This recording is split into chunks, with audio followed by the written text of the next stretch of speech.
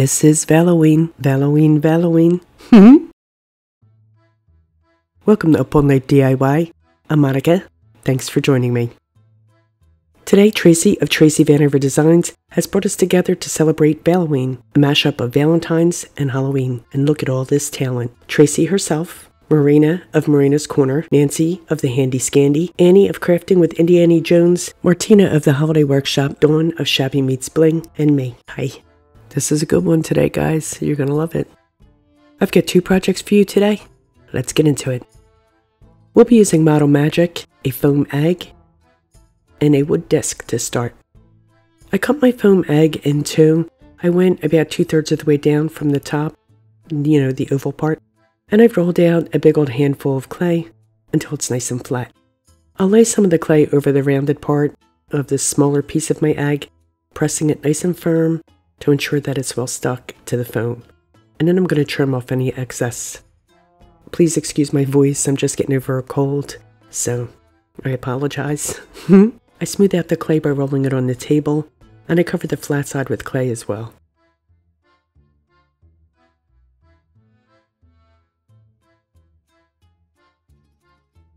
This section of the egg is going to be the witch's head.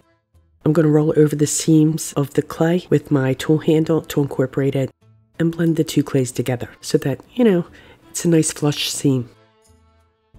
Now I'll do the same exact thing with the larger section of the egg. And once I get that nice and smooth, I'll flip it over and add clay to the bottom.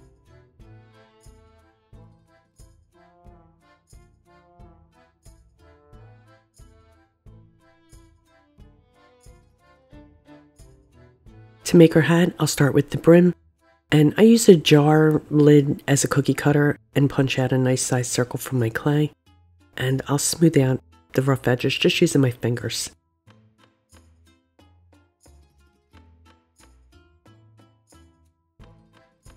To make the cone of her hat, I'll roll out a ball of clay and I'll apply pressure to the one end.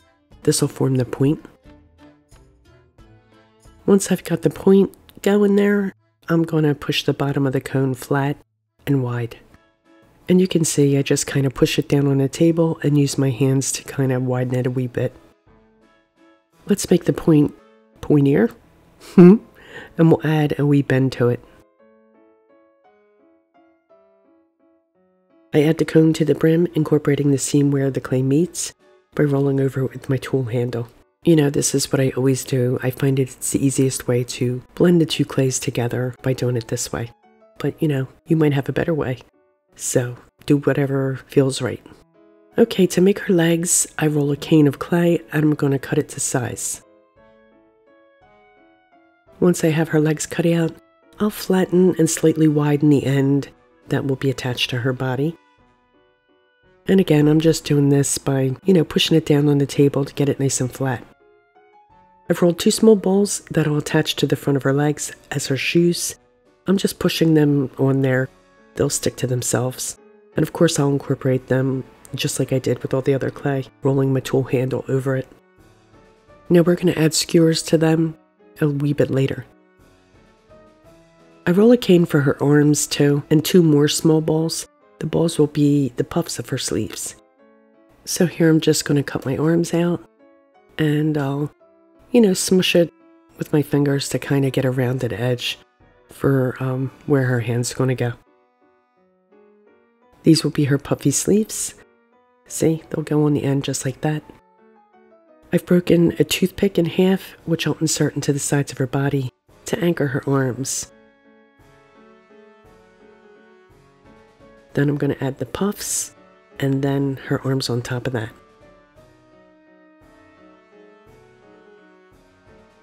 And I'm going to add a drop of tacky glue to attach the arms to the puffs, just for a little extra security.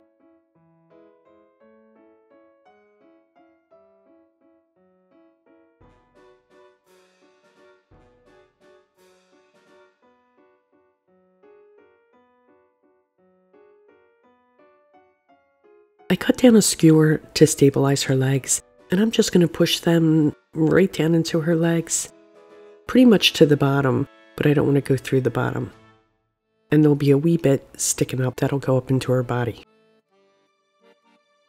Okay, push her legs up into her body. And for a little extra support, I'm going to wrap a thin bit of cane that I've rolled out around the top of her legs. Kind of like pantaloons, I guess. But they're going to add a little extra support and kind of clean up that top area. I also added a piece of skewer to attach her head to her body.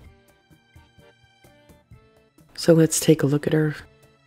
I'll just stick her head on there and we'll see how she looks. So far so good. Let's pop her hat on too just to get a look. I'm not going to attach that right now, but I just want to see, you know, how it's going to look when it's all assembled. And um, we'll take care of that later.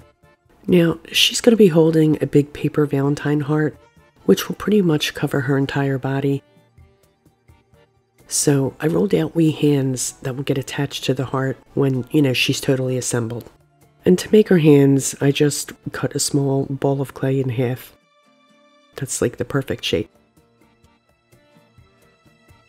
She's going to get a pointy nose like a chocolate chip. So just a tiny little cone, I'm going to roll it out and pop it on her face.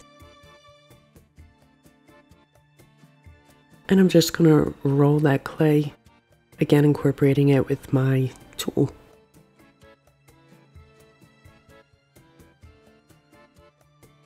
Okay, now I'll attach her head. I did use a couple of toothpicks to affix it to her head, but I don't know, my camera wasn't on. Sorry. You get the idea though. So I'm just going to press it until I'm happy with it and make some adjustments. I think that looks good. I'm going to leave her overnight to dry. She dried nicely and she's ready for paint. So I'm going to start with her face and her arms and her wee hands. Each will get two coats of Ceramcoat Tawny. I started out like this, but I wound up popping her head off because it was just far easier to handle than trying to, you know, work around her body when it wasn't really necessary. Know what I'm saying?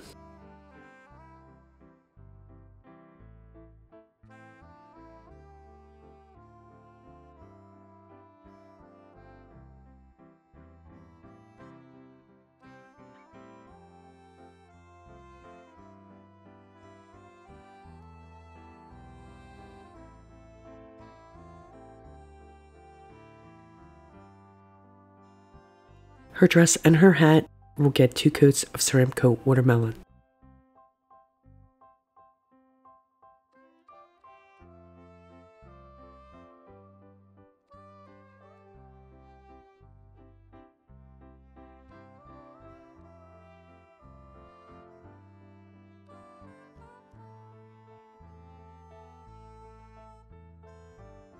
I give her legs two coats of white She's going to be wearing stripy stockings, so that's why she's getting white legs. While I have the white on the go, I'll add her eyes. I'm using my triple zero detail brush. Her eyes are arched like a capital D on its back. It's fallen, and it can't get up. Hmm? Okay, so now I'm just going to fill them in, and they'll get two coats as well.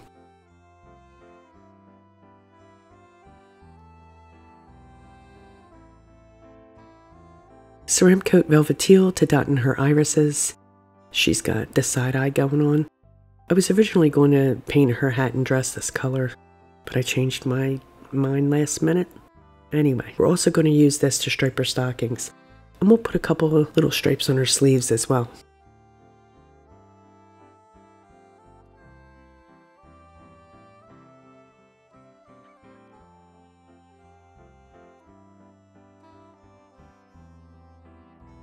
Even though the majority of it will be covered by the paper heart, I'm still going to give her dress some detail.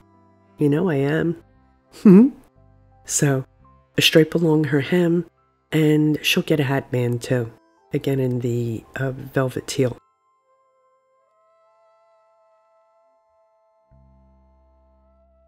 Ceramcoat Sun-Kissed Coral to dot her cheeks just below her eyes. And you can see I'm just using the flat end of a brush handle to do this. With my triple zero detail brush, I outline her eyes with Hippo Gray. She'll get la la lashes and brows and a wee smile.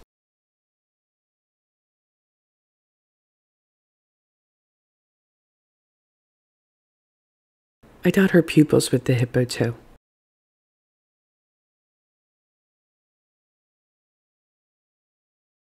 Then I outline her hair with hippo gray before I fill it in.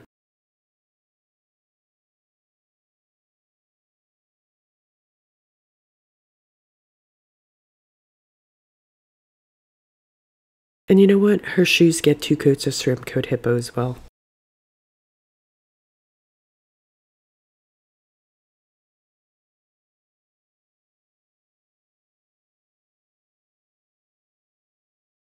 I'm giving her sun-kissed coral lips too. Pucker up.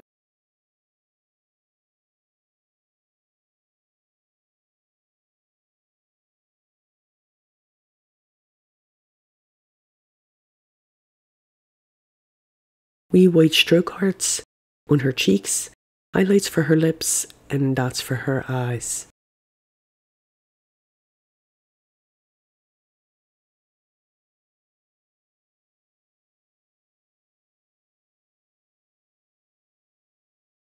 Let's highlight her shoes too, just for kicks. Haha, get it. Some hearts for her dress and stripes for her sleeves in between those velvet teal stripes. Now I'm going to come back and outline her hair and add some details with Ceramcoat charcoal. I'm grabbing my floating medium to add a wee touch of shading. I prep my brush by getting a healthy coat of the medium on the bristles, and I'm going to side load by scooping up some raw sienna paint onto the corner of my brush. I stroke it on my plate to load the bristles, blending the medium and paint as I stroke. With the paint corner of my brush along her hairline, where I want my darkest shadow, I'll float right along, and I'm going to reload my brush as needed.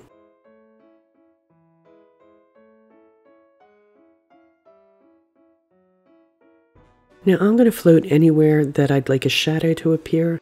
So here on her nose and under her cheeks and mouth. And then I'm going to do around her arms too.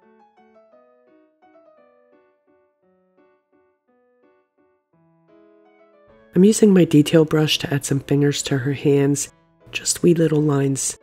And I'm gonna also shadow under her eye with the, the detail brush and add a few character lines.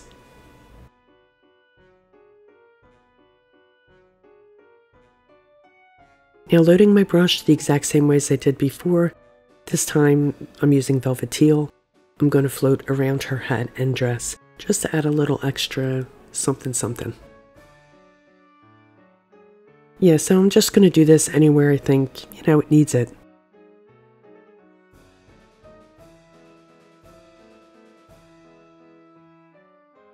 With a cosmetic sponge, I'm going to pounce on a top coat of Mod Podge before we assemble her. It just makes it easier.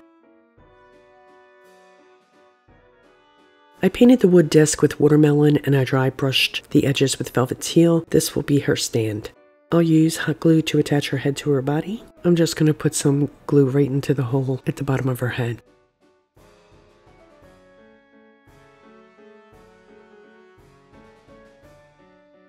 And I'll make sure that she's facing exactly where I want her to face.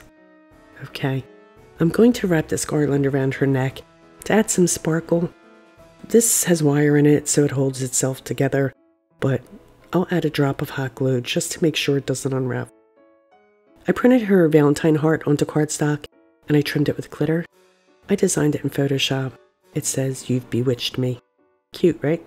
I'm just going to use a little 3-in-1 glue to affix it to her hands. And I'm going to put a little on her belly too, since basically it lies across her belly. Keep it nice and steady. And now I'm going to glue her hands in place. I'm just going to use hot glue for this.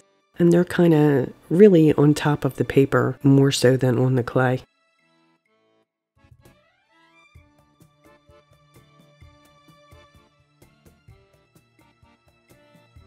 I attach her to the base with both 3-in-1 glue and hot glue.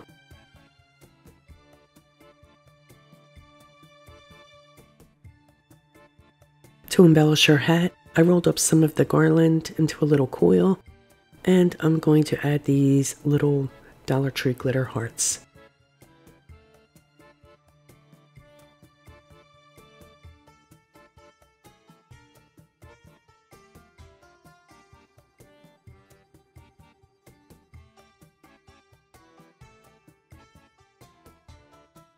And this sweet Valentine's witch is done.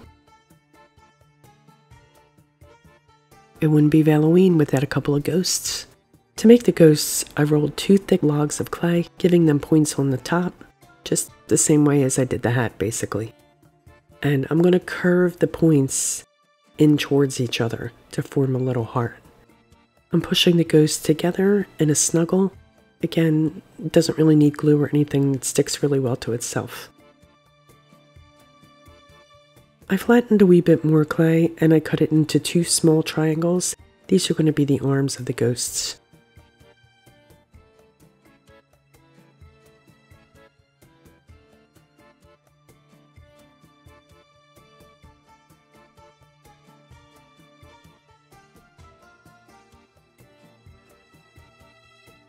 I'll push them into place on either side of the snuggly ghosts. And again, I'll just work it the same way as I did before with my brush handle or tool handle.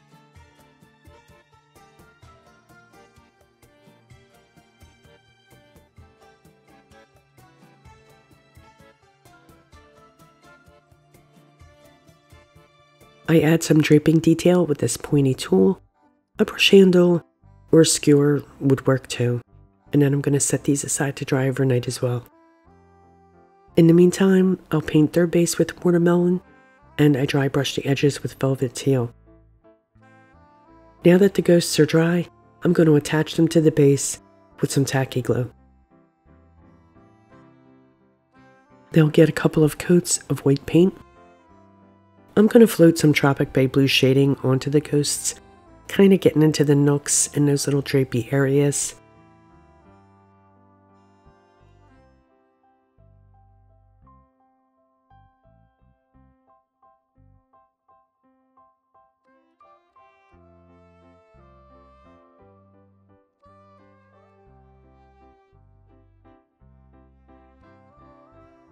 I'll come in and dot their eyes with Hippo Gray. I'm dotting and kind of pulling down to elongate the eyes a wee bit. And of course the girl's going to get la la lashes.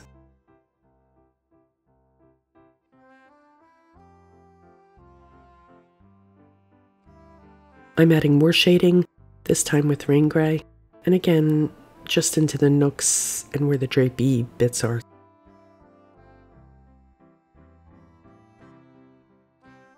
They too will get a top coat of Mod Podge to seal them.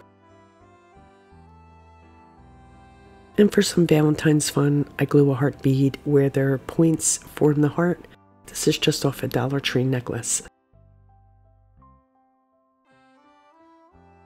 And finally, I printed a wee tombstone that says Forever Yours onto cardstock, and I distressed it with teal ink along the edges.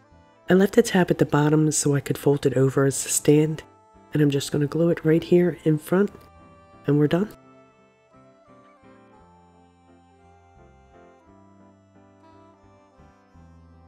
Aw, eternally together, always and forever. Here's a final look. I hope you liked today's Valloween projects. I'm always up for a wee touch of Halloween, so I hope you enjoyed. Please be sure to check everybody out. Um, plenty of talent on this playlist. You'll find links to everyone's channels, as well as a link to the playlist in the description box. You'll find a list of my supplies there too. Please like, share, comment, and subscribe, and all that good stuff. Stay creative, my friends. Thanks for hanging with me. See you next time. Up all night with Monica.